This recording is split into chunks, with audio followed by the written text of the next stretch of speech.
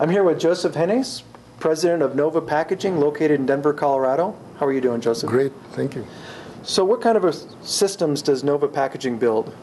Uh, we build automated systems to handle flexible and rugged uh, package, starting with the holding hoppers, conveyors, volumetric feeders, bagging equipment, conventional and robotic palletizers, as well as protective equipment from top film dispenser to stretch wrapper to a full bag applicator to protect your load once it's palletized.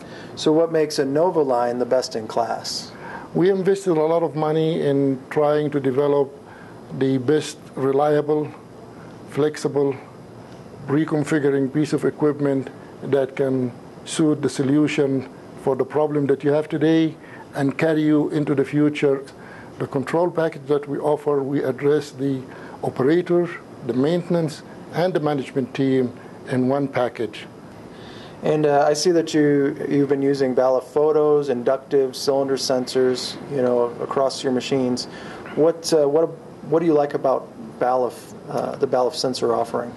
Like I said, we, we try to uh, launch a reliable piece of equipment that will serve the customer right, uh, and we did our homework trying to select the right component and elements in our equipment. Balluff have come to uh, be a good fit to our philosophy, and our needs.